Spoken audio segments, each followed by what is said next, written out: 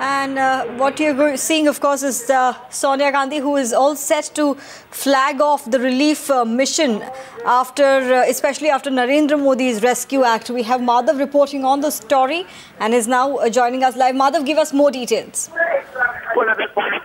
See Sonia Gandhi and Rahul Gandhi here with several senior leaders of the party, Chief Minister Sheila Dikshit, uh, uh, senior general secretaries of the party uh, like uh, Ajay Maken BK, Hari Prasad, uh, CP Joshi, Mukul Wasnik, as well as uh, Ahmed Patel, political secretary to Sonia Gandhi, several senior Congress leaders as well as at least three to four union ministers, uh, P Chidambaram Oscar Fernandes, Ghulam Nabi Azad, all present.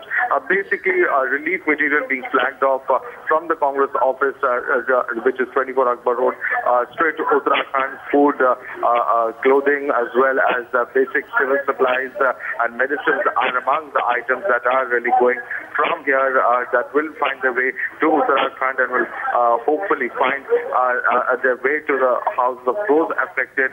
In fact, entire villages being adopted and a really focused effort as far as relief is concerned is really what is being spoken of uh, here at the Congress uh, party office. Uh, uh, just uh, yesterday, we had seen Narendra Modi visit there. Uh, several Right. being made about thousands of persons being rescued.